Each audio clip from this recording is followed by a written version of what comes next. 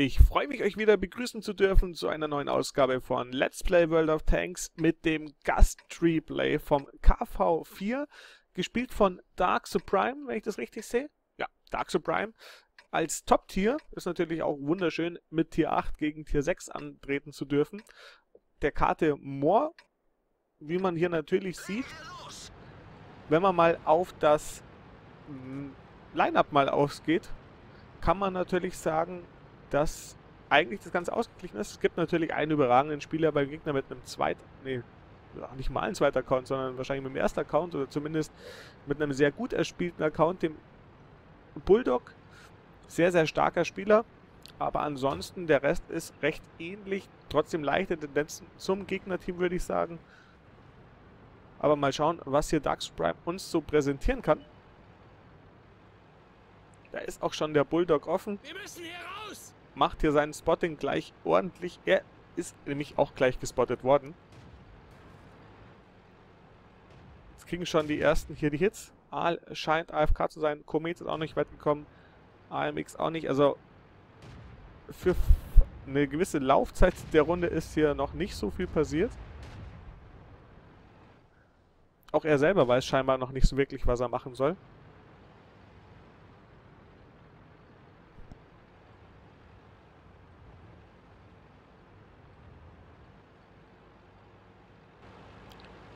So.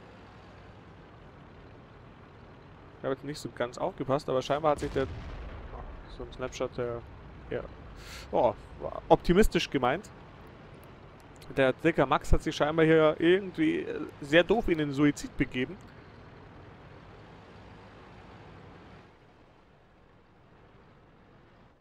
Ist natürlich schade und unverständlich. Da darf man dann auch gerne mal die Report-Keule auspacken.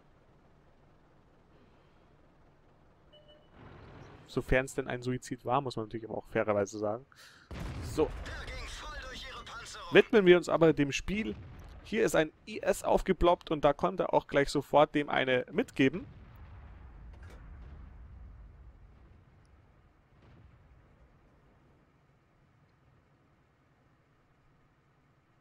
Jetzt wartet er einfach mal eher hinten und schaut, was so im Spiel passiert.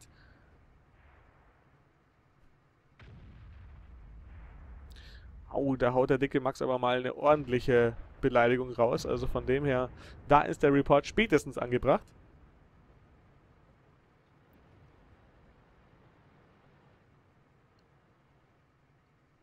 Ah, die haben es aber auch damit die Vokabular. Das ist aber auch immer noch Heidewitzka. Da drüben Jagdpanther offen. Oder ein M6. Jetzt schau doch darüber, links kommt doch ein M6. Ah, ja, er schreibt gerade. So, aber jetzt, zack. Oh, da hat er nur gekettet. Dürfte aber den Nach-Hit auch noch bekommen. So schnell bekommt er die Kette nicht repariert. So, schön in die Seite. Jetzt ist aber die Kette repariert, das heißt, jetzt wird er wahrscheinlich weiterfahren. Nachdem die Gemüter auch wieder etwas heruntergekommen sind, glaube ich, kann er sich jetzt gut aufs Zocken konzentrieren. Der M6 ist jetzt hier getötet worden, der war wohl dann nochmal getrackt. IS fahrt jetzt hier wiederum weiter. Schöner Hit. Oh, und da ist, da hat der Rheinmetall dann zugeschlagen. Was das Schöne ist an KV, dass man gesehen hat, dass die Fluggeschwindigkeit der Projektile ganz ordentlich ist. Und das ist doch sehr, sehr viel wert.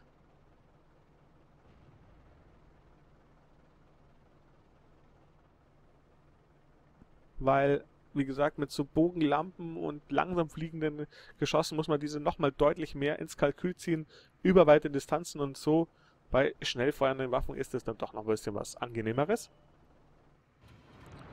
So, eine Su... Wir müssen hier raus! Oh, jetzt ist er offen. Jagdpanther. Ja. Ah, nee, da ist doch ein Stein, Dude. Stehen sie sich hier ein bisschen im Weg. Da kommt ein KV4. Muss er aufpassen, dass er das Heck nicht so dreht. Das sind sogar noch KV4 und IS-3. Nein, nicht so. Nicht so. Genau, da ist schon mal sinniger. Perfekt. Und jetzt linke Maus gedrückt halten und BAM! Ja, nice. Und der Jagdpanther hat scheinbar schon, äh, der, der Rheinmetall hat schon wieder zugeschlagen, weil der Hit war doch sehr, sehr hoch. Genau, obendrauf auch richtig. Sehr schön. Jetzt spielt das gut. Komet ist gerade getötet worden, aber hier, hier hat er den KV-4 sehr gut im Blick. Hit genau richtig. Sollte auch auf den einfach mal... Oh, dahinter ihm kommt jetzt natürlich auch noch was. Ich würde an seiner Stelle erstmal die beiden ignorieren und auf den KV4 weiterhin gehen. Weil wenn der weg ist, hat er immer noch genug Zeit für die anderen beiden Hanseln. Schauen wir mal. Zwei Sekunden bis Reload. Vielleicht kriegt er da den Kill jetzt auch direkt. Ja, nice. Oh, jetzt kommt der Bulldog durch.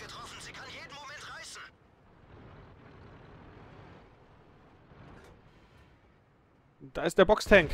Ja, schöner Kill. Aber 5 zu 9 für den Gegner ist natürlich auch ja, eine Hausnummer. Da muss er jetzt Unterstützung von seinem TDs bekommen. Netter Schaden samt Rammschaden nochmal an dem AT. Äh, T, äh, ja, T25 AT, so ist es richtig. Da ist der Kill. Der E25 ist auch tot. Ne, der, Entschuldigung, E25 ist noch am Leben. Aber er kriegt hier, er kommt nicht durch, der E25. Und wird final vom gegnerischen, äh, vom eigenen E25 getötet. Jetzt hat er den KV-5 zerstört. Also hier ist jetzt unglaublich viel gleichzeitig passiert auf ihn. Der Jagdpanzer schießt auch noch hinten drauf. Der Bulldog scheinbar auch, beziehungsweise der Bulldog definitiv. Der Jagdpanther könnte drauf schießen. Also, da war er jetzt gut im Fokus gestanden und auch plötzlich hat er einen Krieger sich geholt. Und es steht nun nur noch 9 zu 10. Also, ich glaube, man darf festhalten, der KV4 hat definitiv starke Tank-Möglichkeit. Ah, jetzt kommt er nicht durch, das wäre der Kill gewesen. Der T25 AT schießt auch schon mit Premium, weil er sonst gerade so Probleme hätte. Und schon wieder Abpraller.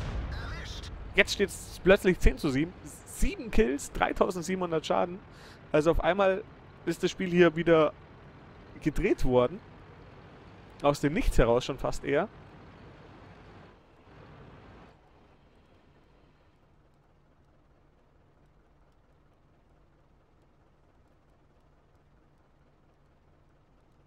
E25 geht jetzt scheinbar spotten. Mal gucken. Da müsste den ja... Oh, da ist der Bulldog. Ah. Nein, viel zu weit vorgehalten. Da hat er fast, das hat schon fast eher ausgesehen, als ob er die Maus verrissen hätte. Jetzt fahrt er.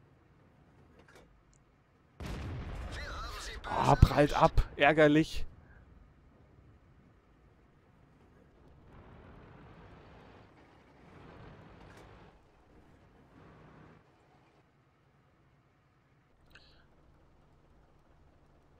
Der WZ gerade den T29 fertig gemacht.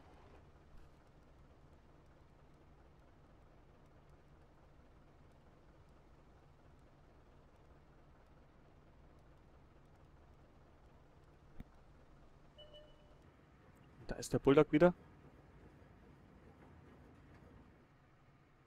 Echt eine enge Chose hier.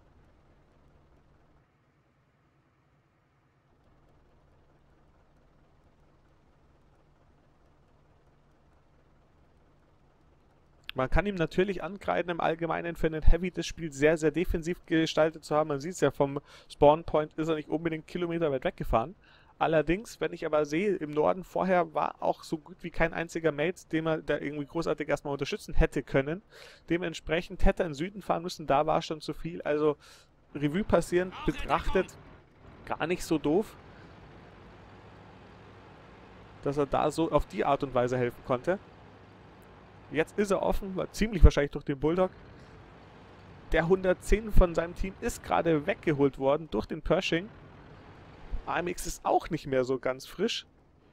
Und der Bulldog fährt jetzt Richtung WZ. Also, au, au, au, das könnte jetzt noch ein Loose werden. Jetzt setzt er sich auch dementsprechend mal langsam in Wallung und das ist auch notwendig, weil wenn er jetzt nicht mal Gas gibt und das Team da dementsprechend unterstützt, wird es auch ein Lose.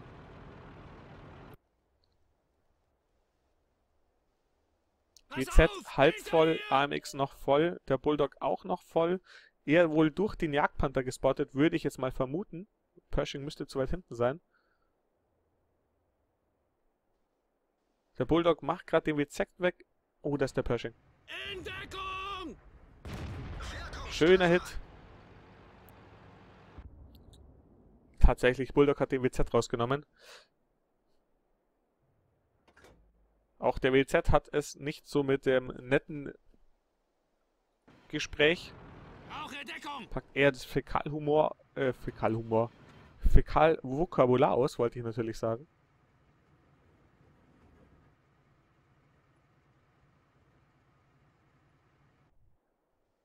Der AMX hat den Bulldog scheinbar noch ganz gut im Griff, weil der ist ein One-Shot, der wird jetzt nicht mehr so viel pushen.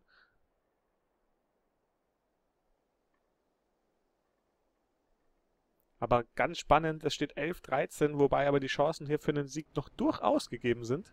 Pass auf! Hinter dir! Weil der Jagdpanther haben wir gesehen, der ist wirklich, wirklich wenig HP. Ploppt hinten jetzt auch auf. Jetzt bleiben wir auf, auf unserem Might hier drauf, aber der AMX, ah, Heidewitzka hat echt... Nimmt, jetzt nimmt ihn der Pershing den Kommandanten raus, hat noch ein Repair-Kit. Schießt ihm schön durch.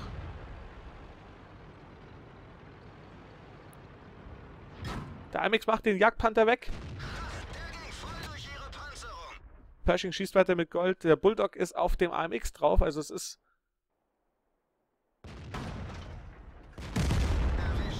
Pershing hat immerhin alles mit Gold geschossen, dass er da ihn hier durchschlägt. Der AMX muss den Bulldog wegmachen, dass das hier dementsprechend aufgeht. Aber 5200 Schaden angezeigt, wirklich nice. 8 Kills. Da kann man sagen, hat er vieles gut gemacht. Für mich steht und fällt das Match hier mit dem, was der Bulldog noch reißen wird. Den Jagdpanzer sehe ich jetzt nicht so als die Riesenbedrohung. Natürlich kann der auch durchkommen und ihn da hitten, aber muss nicht unbedingt. Da ist... Oh, jetzt, jetzt noch... Ja, sehr gut. Amix nimmt ihn raus. Ganz wichtiger, ganz wichtiger Kill.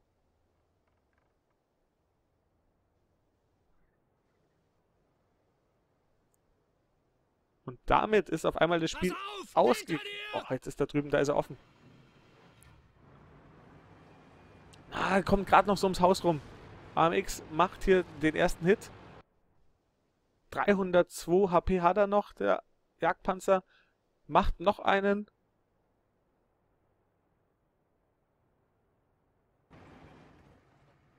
Das dürfte eigentlich... Ja, Oh, schade. Wäre sein Kill auch noch gewesen, der neunte, aber trotzdem scheiß drauf. Es war ein sehr schönes Match. Unglaublich viel getankt, unglaublich viel Schaden ausgeteilt. Die Auswertung seht ihr natürlich am Ende des Ganzen. Lasst mir doch einen Daumen da. Ihr macht es mir damit einen Gefallen. Und über Kommentare, auf die ich selber auch antworten darf, freue ich mich auch immer wieder. Super, vielen lieben Dank. Bis bald. Ich wünsche euch alles Gute. Bussi aufs Bauchi, euer Alcaramba.